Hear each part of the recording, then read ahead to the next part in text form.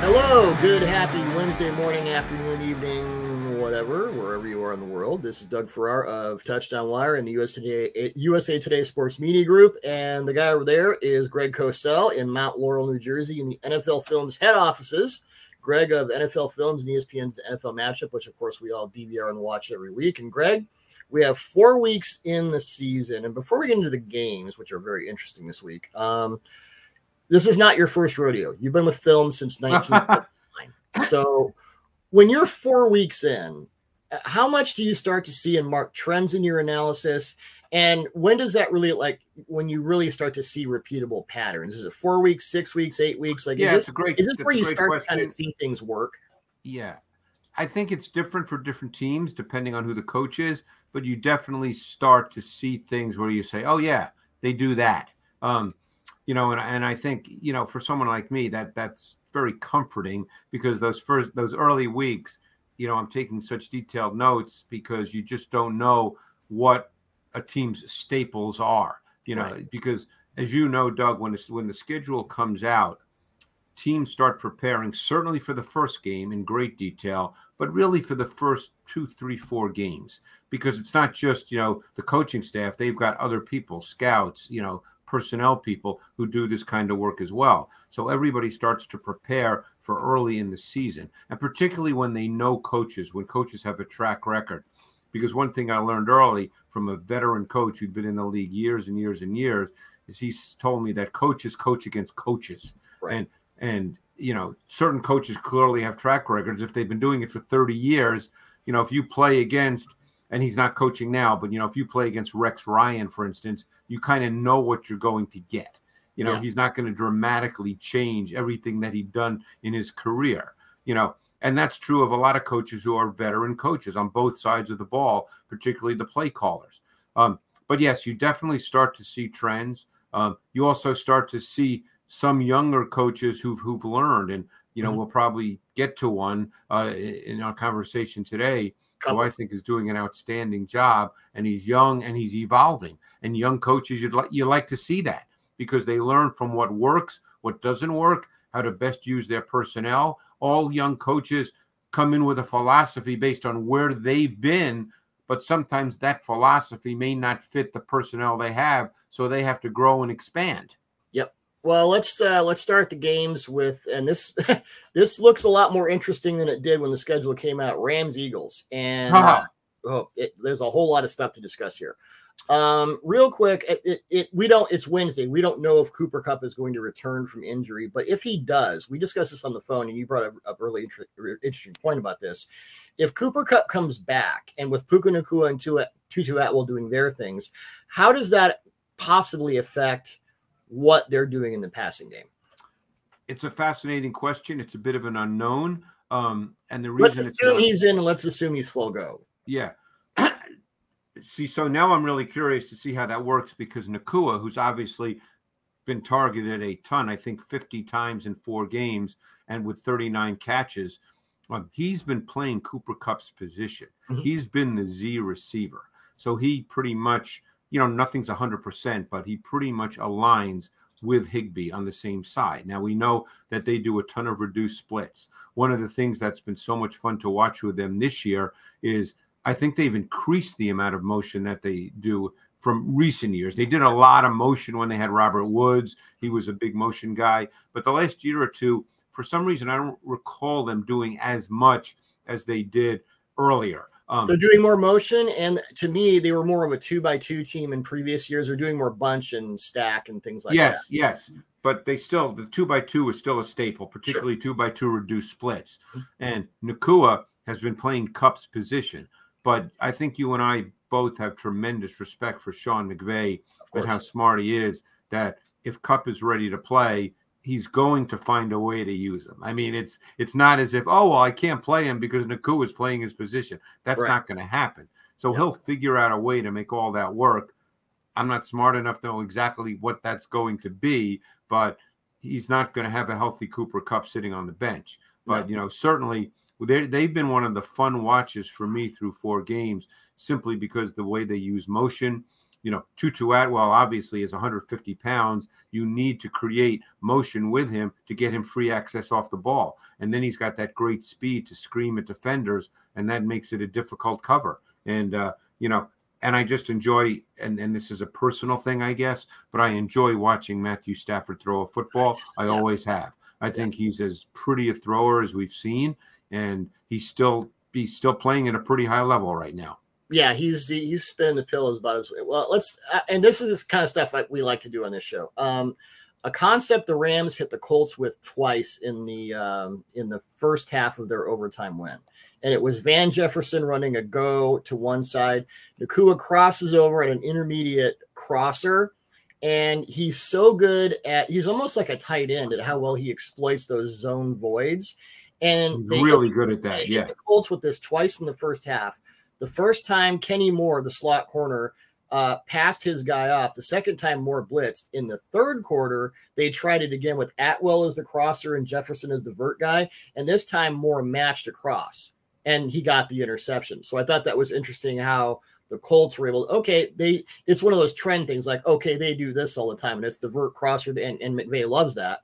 So I thought it was cool how they sort of adapted. But that those two plays, in, and I'll have this up in a film piece uh, today or tomorrow. Um, those indicate to me how well Nacua for a rookie. I mean, we know about the numbers, but just his acumen and his ability to sort of deduce where those voids are in, in zone coverage. Well, I think is rare for a guy with his experience. I mean, what what what I think McVay does really really well is with formation and motion, he gets to basic concepts that are relatively simple reads for the quarterback. Mm-hmm. I mean, they had a play and they ran it twice and they got to it from different formations and different people in motion. I'm sure you remember the play where Nacua went in motion.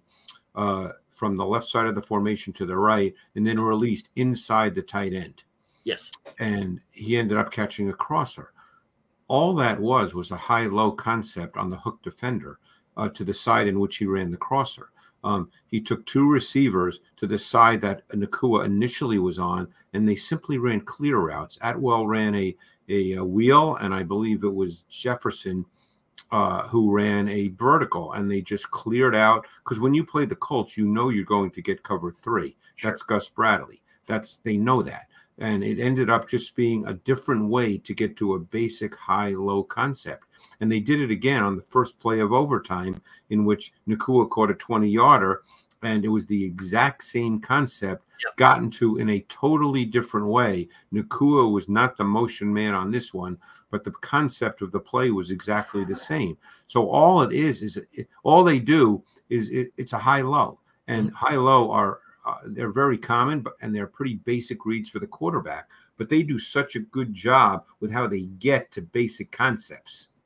And that uh, overtime touchdown was also looked like a blown coverage where Kenny Moore was talking to Julius Brents like, "No, we're in man. You got to cover him." And yeah, it was bunch, and they and they screwed yeah. it up. Yep. Not, not, a good thing when two guys are on one and man. You sort of want your guy on your guy. yeah, both both Moore and Brents played point man Hopkins, leaving Nacua free on his inbreaker. Yep. That's what happened. Whoops. So the Eagles have played cover three on 43 opponent attempts this season, which ranks eighth highest in the league. They've allowed 33 completions for 304 yards, two touchdowns, no interceptions, and a passer rating of 111. Hmm. Um, in general, I mean, we know about the front. Uh, you know, with with Jobe in there and kind of new safeties, and I know uh, Blankenship's played really well. How do the Eagles array? I mean, we know they have the edge with the fronts, but in their coverage concepts, yeah, how do they sort of attack this? Well, they're a little uncomfortable with their coverage because they signed Bradley Roby, and yep. we don't know, you know, whether he plays this weekend. You know, that's unknown as you and I talk on a Wednesday. Right. Um, but they're obviously a little uncomfortable because James Bradberry has been playing in the slot, and he's not really a slot. Uh, and in yep. this game, you know, to, to have someone who's not really comfortable with where he's playing, with what the Rams do, you don't want that. No. You know, and Roby, ended up in the last number, couple of years in New Orleans playing the slot a good amount. That's what he did.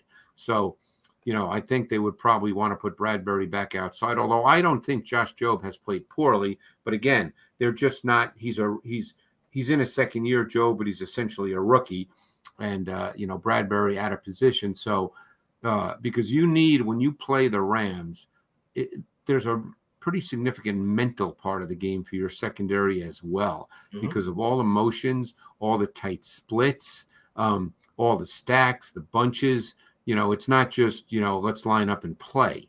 And uh, even if you choose to play man, there's still issues at times with the stacks and the bunches. So, because there's multiple ways to play bunch. But, um, you know, so we'll see how it plays out. But yes, you're right. They certainly have the advantage with their defensive front, which they'll have against you know 90% of the teams in the league. Yeah. Um, although it's funny watching the tape this week, and again, he could be awful this week if he has to play again. But I actually thought Joseph Noteboom, a left tackle, had a really good game in pass yeah. protection against the Colts. Uh, but like I said, you know, he could certainly get eaten up by Josh Sweat you know, for their talent, they're they're really playing well. Um, but it, it's shot the the move from Jonathan Gannon to Sean Desai. I think eh, they're not they're still not blitzing a lot. They don't need to. Right. Desai's been really creative with his blitzes. Nicholas Morrow had three sacks against the Commanders. I know you know this, and I know you've watched all three plays. First was on an A gap blitz. The second like he was spying Sam Howell and kind of cleaned it up after Fletcher Cox almost got there. And the third was a late blitz that Washington just did not pick up right up the middle, and he had right, right. So it, it, you know, again with Desai, they're more interesting in their blitz concepts, and that's a an additional issue for that Rams offensive line. Yes, like and the now, other thing now do you have to bring in extra guys to protect, and how does that minimize what you can do in the past? and he's just more aggressive overall with how he pressures because their stunt percentage has also gone way up from a yep. year ago.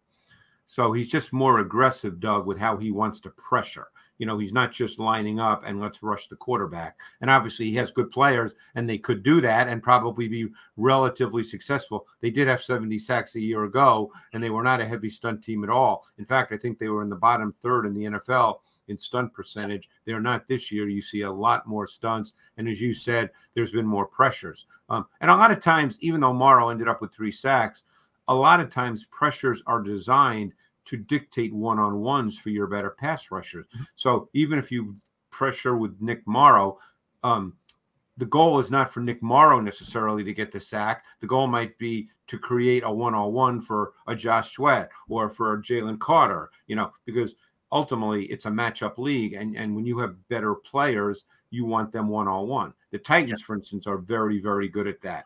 You know, they want to get um, Jeffrey Simmons, Denico Autry. They want to get those guys one on one with an offensive guard or an offensive center because they believe they can win those one on one matchups.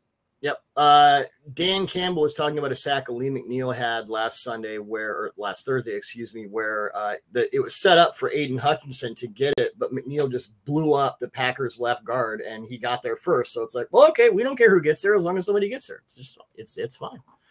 Uh, the weekly question, Greg, where are we with Jalen Hurts? well, I thought Jalen Hurts played much better this week. Um, you know, I thought he was more decisive with his throws. Um, he's he's obviously still very very accurate on deep balls, which he was a year ago, and he was in this game. And obviously, the Eagles felt that they could go after Emmanuel Forbes, who plays in the nickel for the Commanders, and he's the boundary corner, so they knew where he would be. Um, and they obviously set up AJ Brown on him a number of times, and uh, Brown obviously beat him. Um, and and uh, Jalen made some really good vertical throws. So I thought in this game he was better overall. The key to me was he was more decisive. I felt like he saw it quicker and he was more decisive. And if you notice this year, the running element to him has not really been a big factor through four weeks. No, they're running the ball more traditionally. It's less of a QB run thing, a lot less. Yeah. And even his scrambles, he's not scrambling as much. I know he had one big one in this game, but for the most part, he's not really scrambling scrambling a lot. No, it's not designed. I mean, he might scramble out of pressure, obviously, because the quarterback. Yeah, does. it's not as nearly as designed because last year it was just like wow. Um, so Jaguars Bills, the uh, London game this week, 6:30 in the morning Pacific time. Thanks a lot for those of us on the West Coast. Yikes. Um, so we discussed in the matchup preview for this game how the Bills needed to put color into his head to, you know, they, they did they did so many good things which their defense can do. It's a zone heavy team with brilliant disciplined players, the sim pressures, the stunts, the way uh, they handed things off on Micah Hyde's interception.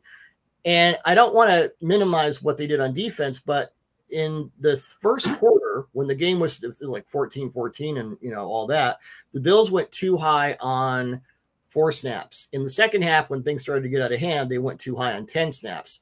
In the second half, it was 18 snaps. And Mike McDaniel said after the game that, yeah, we probably abandoned the run too early, but they kind of didn't have a choice. So they were playing, Miami was playing one handed, and they were so good with the run against the Broncos in that 70 to 20 game. So everything worked for the Bills. And just your thoughts on how the Bills dialed it up because I know we were talking yesterday and you said, and I agree, they didn't do anything revolutionary. They didn't do anything we haven't seen before. no, and I think everything so well. Yeah, I mean, it, what was interesting was they actually rushed five on the first two plays of the game, and they probably uh, not probably they obviously did that intentionally to show Tua and and Miami something, you know, that to get in their head and say, hey, maybe we're going to come a little bit, and then obviously they didn't play that way as the game progressed.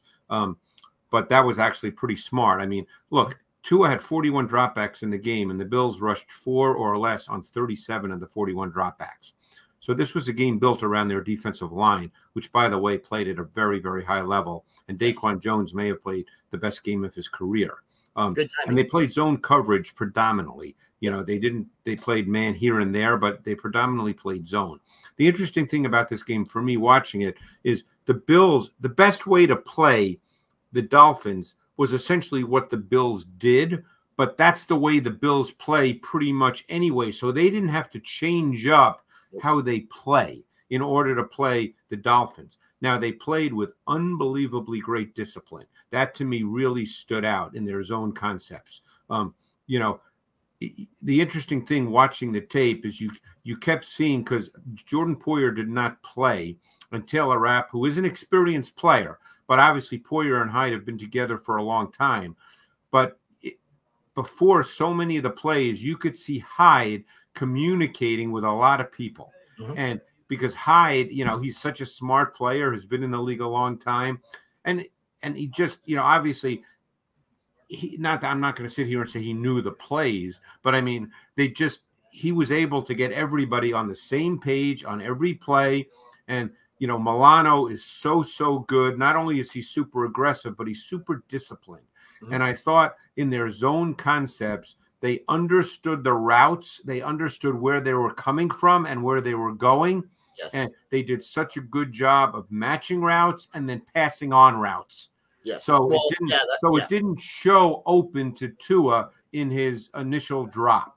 Now, Tua made a couple of really good throws and really good plays. Obviously, you're not going to shut that offense out. No. Um, but they didn't, you know, I watched the tape because I knew that everybody this week would ask me about it and I'm watching the tape, and I, you know, I actually watched it first thing Tuesday morning because I'm really sharp. You know, I'm a morning person, and, when, and I get in the office at 5:30, and I'm just raring to go. And I watched that tape, and I'm halfway through, and I'm thinking, boy, there's nothing really revolutionary here. Like when people ask me, I'm not going to say, oh, they did something I've never seen before, you know. But that's the way they play normally.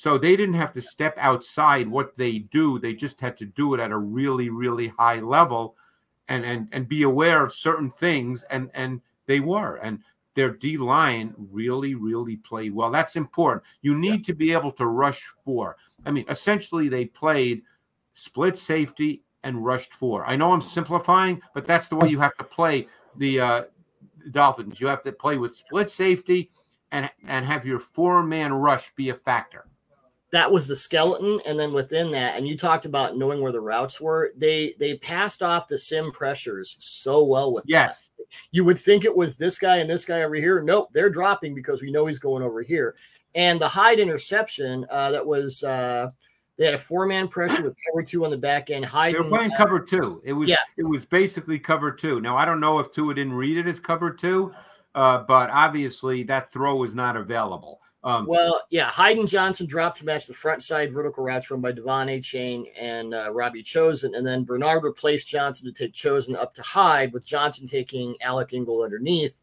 Tua's first read was to his backside. Milano had Hill just enough to take that away, and Tua wasn't going to try Durham Smythe, Smythe way outside because it wasn't really there. So he turned his focus to the other side, and by then they had it figured out. I mean, it, he just really didn't have a lot of places to go.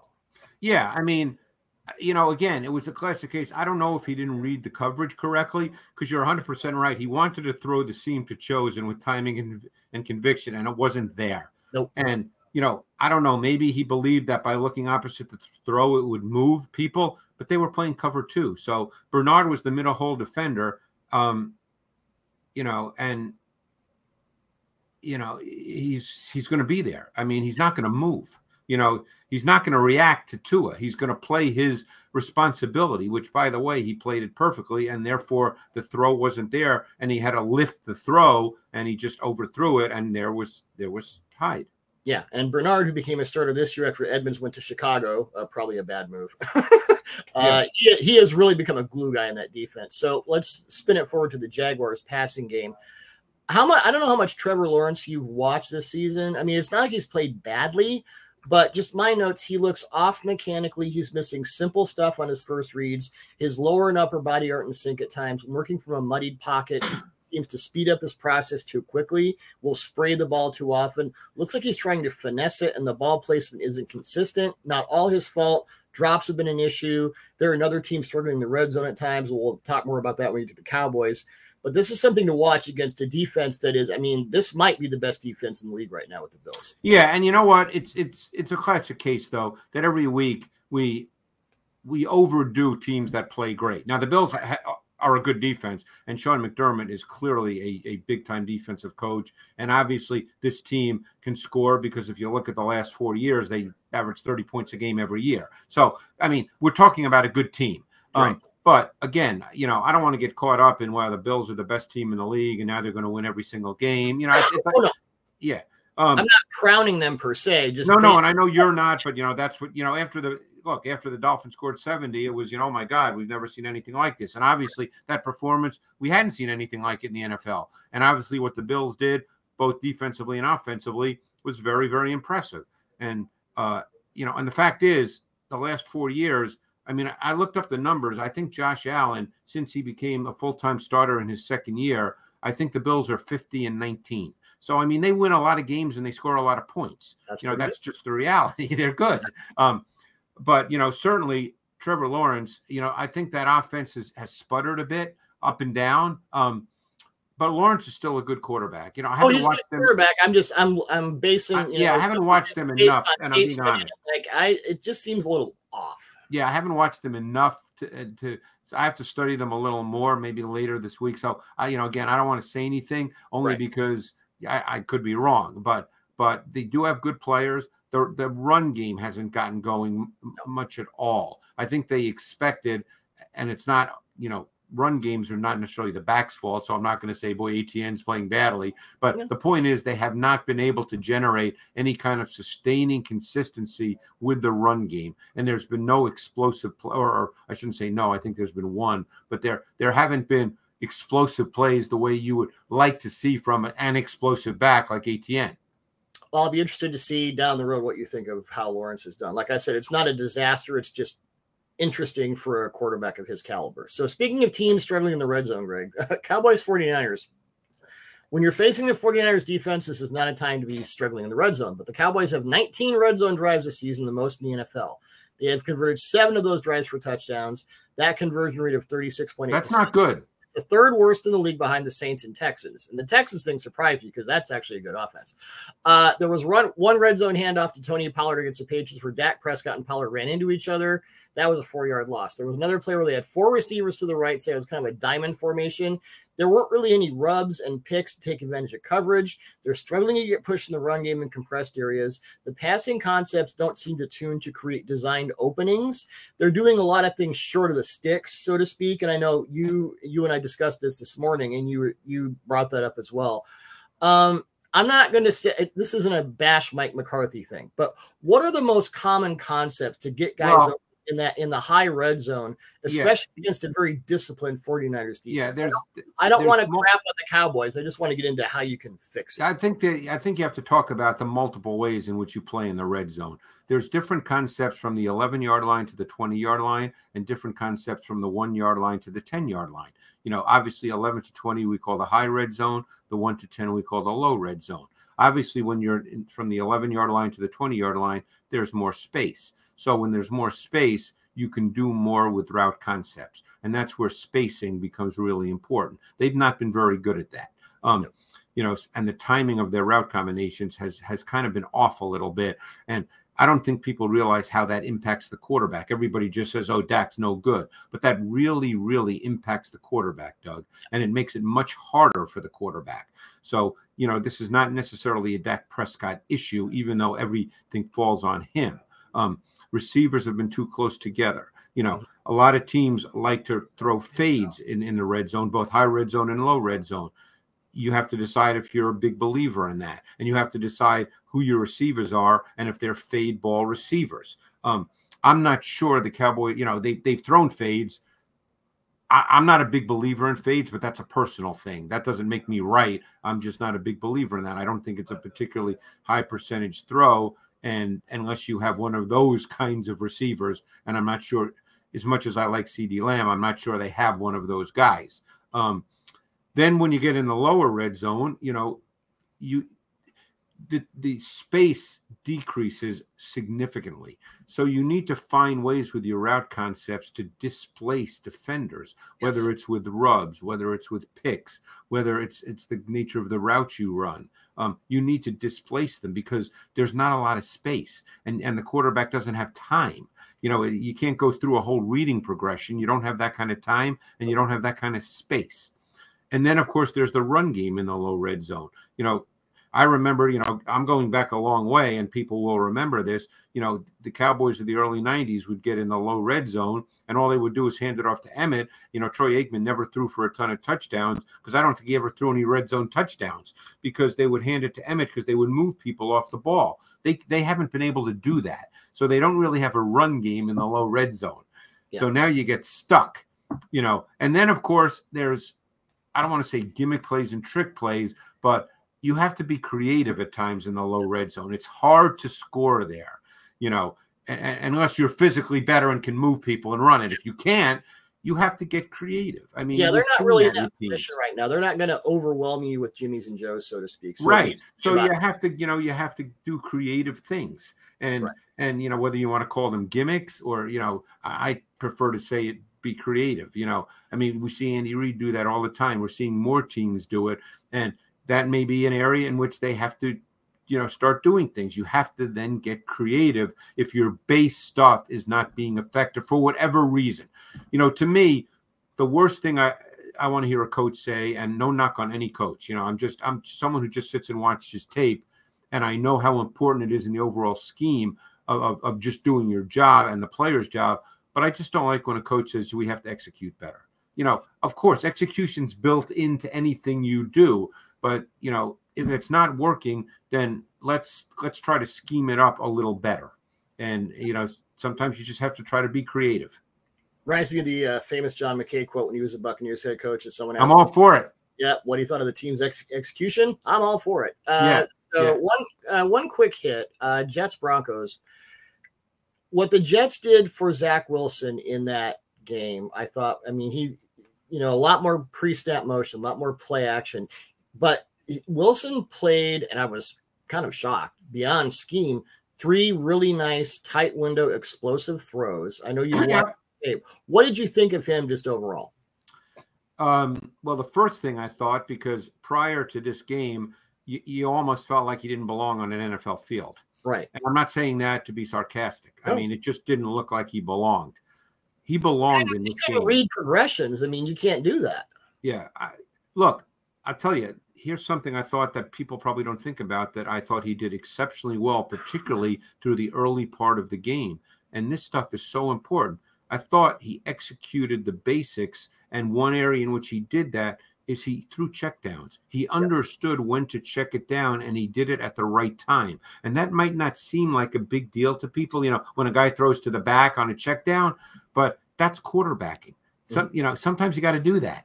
That's just understanding, hey, I'm not seeing it. It's not exactly the, you know, my primary is not there. It's not working. Hey, let me go to my check down. Let me move the sticks. Let me play quarterback.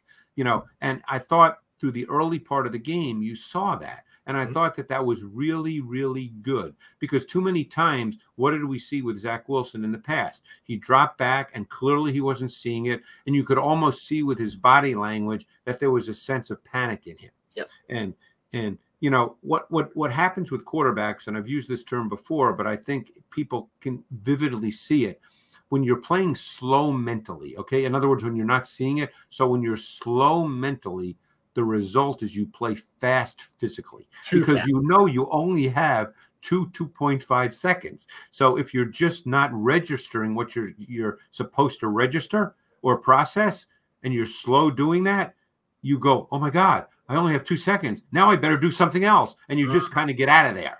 Yeah. And that's the way he was playing. And in this game, he wasn't like that. Yep. You know, and I thought this was a step again. I think his his game against Denver is a really big I'm not saying it's career defining, but if he continues to play that way against Denver, and Denver has its own set of issues on defense, as we know, but if he continues to play that way against Denver, then you have to start to think, hey, maybe this guy can really be an NFL quarterback. Because Doug, you and I both know the talent traits are clearly oh, there. Absolutely. Yeah. Um, well, I mean, Tom Brady, who I think we can agree is the greatest quarterback of all time, never struggled to take a profit. If it's good enough for Brady, it's good enough for you. Yeah. I mean, I know that's the old cliche, you know, you don't yeah. go broke by taking a profit, but I mean, it's true. It's is, because it works. It's true. Yeah. The point is, is there's nothing wrong if you don't, if, if you don't get a clear picture for whatever reason, defense takes it away. You're just uncertain. There's nothing wrong with taking the check down, particularly at the right time. And that's the key. You know, yep. some guys wait, wait, wait, and they check it down. It's way too late, and the defense reacts, and you gain one yard. You know, there's there's a, a timing to a check down as well. And I thought he had a good sense of when to throw the check down.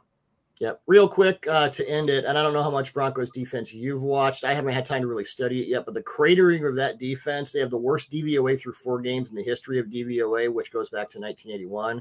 How much of that have you watched, and, and what have you been able um, I think I've, I certainly saw them against Miami. I saw them against Sam Howell. I did not see them yet this week against Justin Fields. That's one of my next watches, Justin Fields. Um, but uh, yeah, so I, you know, they're obviously they're not very good right now. Yeah, we knew they were light on the front. I think we kind of expected that. But the coverage confusions are yeah confusing. Let's put it that Which way. is surprising. Vance Joseph is a veteran NFL D coordinator, yep. and you know, I think the assumption was that after the Miami game they'd fix a lot of things.